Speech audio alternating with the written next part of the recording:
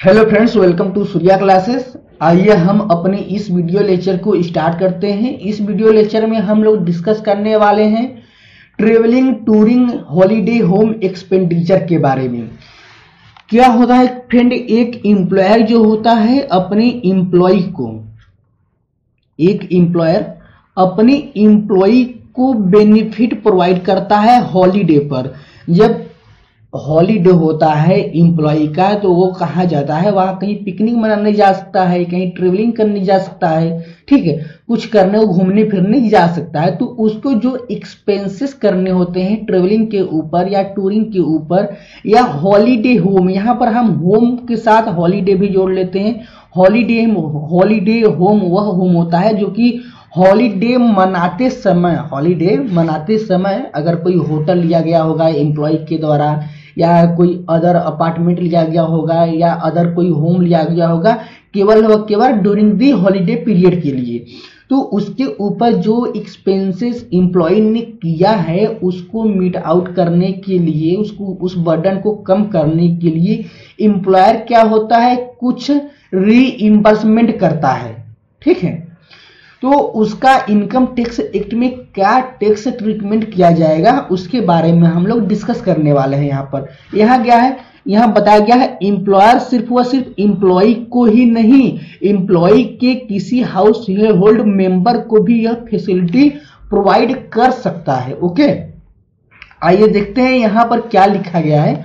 बताया गया है valuation of perquisite in respect of travelling touring holiday home और any other expenses paid for or borne or reimbursed by the employer for any holiday availed holiday availed of by the employee or any member of his household is taxable in the hand of all employee सभी employee के hand में यह taxable perquisite होगा। जिसका हम calculation किस तरह से करेंगे? यहाँ पर बताया गया है। देखिए, क्या होता है कि जो एक ट्रेवलिंग टूरिंग या हॉलीडे होम की फैसिलिटी जो प्रोवाइड की गई है एम्प्लॉयर के द्वारा अपने एम्प्लॉय को या एम्प्लॉय के किसी हाउस होल्ड मेंबर को, वह एम्प्लॉय के हैंड में टैक्सेबल होगी। ऑल एम्प्लॉय के हैंड में टैक्सेबल होगी। यहाँ स्पेसिफिक एम्प्लॉय या अदर देन स्पेसिफिक एम्प्लॉय को हम कैटेगराइज नहीं करेंगे, ठीक है? सभी एम्प्लॉय के हैंड में टैक्सेबल ही होगी परक्विजेट तो कहा गया है case taxable value of perquisite कहा गया where such facility is maintained by employer and is and is not available uniformly to all employee कहा गया, अगर इस तरह की फैसिलिटी को मेंटेन किया जाता है एम्प्लॉयर के द्वारा इसका मतलब कि एम्प्लॉयर खुद का ओनर है। जैसे अगर ट्रेवलिंग की फैसिलिटी प्रोवाइड की जा रही है, या होम जो होता है ना हॉलीडे होम की फैसिलिटी प्रोवाइड की गई है, उसका ओनर कौन है? उसका ओनर खुद एम्प्लॉयर है। और यह जो फैसिलिटी प्रोवाइड की जा रही है ना not available uniformly to all employee means किसी किसी एम्प्लॉय को इस तरह की फैसिलिटी प्रोवाइड की जाती है। सभी एम्प्लॉय को इस तरह की फैसिलिटी प्रोवाइड नहीं की जाती है तो क्या होगा? कहा गया notional cost of such facility हम नोशनल कॉस्ट लेंगे। नोशनल कॉस्ट कौन सी कॉस्ट होगी? कहा गया है। In other words value value at which such facility are offered by other agency to the public हम देखेंगे कि सेम फैसिलिटी सेम फैसिलिटी अजर अदर एजेंसी कितने रुपए में पब्लिक को ऑफ़र कर रही है? ठीक है, हम सपोज़ करिए यहाँ पर एक एक होम है। एम्प्लॉयर का, ठीक? यहाँ पर वो अपने एम्प्लॉय को हॉलीडे होम की फैसिलिटी प्रोवाइड कर रहा है। तो हम देखेंगे कि उसके पास में जो अदर एजेंसी है, वह कितने रुपए में पब्लिक को फैसिलिटी प्रोवाइड कर रही है। तो जो ये अदर एजेंसी जितने रुपए में पब्लिक को यह फैसिलिटी प्रोवाइड कर रही है, उतने रुपए हम मान लेंगे नोशनल कॉस्ट ठीक है? हम यह मान लेंगे कि उतने रुपए की वैल्यू की फैसिलिटी इंप्लॉय को इंप्लॉयर के द्वारा दी जा रही है। अगर बात करते हैं सेकेंड पॉइंट की तो यहाँ पर बताया गया है where the employee is on official tour कहाँ पर है? ऑफिशियल टूर है, यानी ऑफ़िस के ऑफ़िस का टूर गया गया ऑफ़िस का टूर ऑफिशियल टूर होता है जो यूनिफॉर्मली वो सभी इंप्लॉय के लिए होता है ना।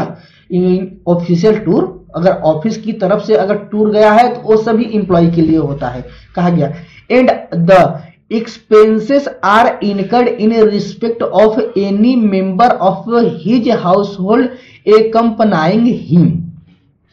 यहाँ पर member of his household के बारे में बताया जा रहा है, ठीक है? यहाँ पर इंप्लॉय के बारे में नहीं बताया जा रहा है। यहाँ पर member of his household के बारे में बताया जा रहा है। कहा गया है the amount of expenditure so incurred for the accompanying member of his household जो मेंबर के ऊपर जितने रुपए का एक्सपेंसेस किया गया होगा, उसे हम क्या मानेंगे? उसे हम वैल्यू ऑफ़ परक्यूजर्स मान लेंगे। कहा गया, यहाँ पर member of his household दिया गया है। अगर इंप्लॉय के ऊपर कोई एक्सपेंसेस किया गया होगा at the time of official tour तो वह उसे हम परक्यूजर्स इंप्लॉय के हैंड में परक्यूजर्स नहीं मानेंगे। ठीक? अगर सपोज़ करिए ऑफिशियल टूर जा रही है, ठीक है? ऑफिशियल टूर जा रही है। इसमें अगर इंप्लॉय होगा तो इंप्लॉय के ऊपर जितना भी एक्सपेंसेस इंप्लॉयर के द्वारा किया गया होगा, उसे हम परक्यूजर्स नहीं मानेंगे। लेकिन इंप्लॉय के किसी हाउस होल्ड मेंबर के ऊपर हाउस होल्ड मेंबर के ऊपर जितना एक्सपेंसेस किया गया होगा इंप्लॉयर के द्वारा वो टैक्सेबल परक्यूजर्स हो जाएगा in the hand of employee okay अब आइए बात करते हैं where any official tour is extended as a vacation कहा गया ऑफिशियल टूर गया था। ऑफिशियल टूर हमारा टेन डे का था, लेकिन इसे एक्सटेंड कर दिया गया फिफ्टीन डे के लिए। और ये जो फाइव डे एक्स्ट्रा हो गया, यह क्या है? ये वेकेशन हो गया। ठीक है? कहा गया। The value will be limited to the expenses incurred in relation to such extended period of stay or vacation कहा गया। जो यह एक्स्ट्रा डे जो एक्सटेंडेड पीरियड है, इसकी हम देखेंगे कि इस ड्यूरेशन में कितनी कॉस्ट इंप्लॉयर ने इंप्लॉय के ऊपर की है। इंप्लॉयर ने इंप्लॉय के ऊपर या इंप्लॉय के किसी हाउस होल्ड मेंबर के ऊपर की है तो वह हमारा एक्सपेंसेस क्या हो जाएगा? परक्यूजस माना जाएगा और इंप्लॉय के हैंड में टैक्सेबल होगा। केवल वह केवल एक्सटेंडेड पीरियड का ठीक है? और कहा गया इन एनी अदर केसेस में अदर केसेस में क्या होगा? कहा गया amount incurred by the employer जो भी जो भी अमाउंट इनकट किया जाएगा एम्प्लॉयर के द्वारा, वह इंप्लॉय के हैंड में टैक्सेबल पर हमारा हो जाएगा। उसकी वैल्यू हमारी इंप्लॉय के हैंड में टैक्सेबल की जाएगी। अब कहा गया notes any amount charged from employee shall be reduced from the above determined value. जो भी हमने ऊपर वैल्यू को डिटरमाइंड किया है, उसमें से उस अमाउंट को रिड्यूस्ड किया जाएगा जो अमाउंट एम्प्लॉयर ने एम्प्लॉय से चार्ज कर लिया है। Second point the above provision are not applicable in case of leave travel concession कहा गया लीव ट्रेवल कंसेशन जो हमारा होता है, एक अलग हमारा है, जो कि हमने पहले ही इसको डिस्कस कर लिया है तो उस यहाँ पर इन दोनों में डिफरेंट करना होगा कि लीव ट्रेवल कंसेशन अलग होता है और ये हमारा travelling, touring and holiday home की जो फैसिलिटी हॉलीडे पर प्रोवाइड की जाती है, वो अलग केस होता है। तो इस वीडियो लेक्चर में हम लोग यहीं तक डिस्कस करते हैं और आगे के वीडियो लेक्चर में हम डिस्कस करने वाले हैं valuation of perquisites in respect of free meals. तब तक के लिए thank you thank you for watching my video